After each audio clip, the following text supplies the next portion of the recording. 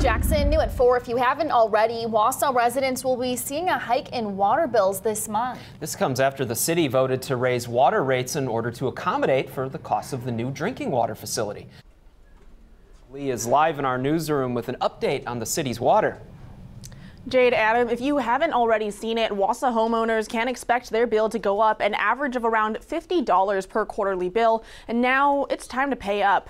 Now that's all to offset costs of the new drinking water facility that the city constructed in order to treat PFAS in city wells. Wausau Mayor Katie Rosenberg spoke with our news partners WSAU Radio, saying they're working on speaking with a variety of foundations to find funding sources for both their drinking water and lead pipe projects. She also said she expects their granulated activated carbon project to be online midway through next year, having expedited that process in hopes of saving some money.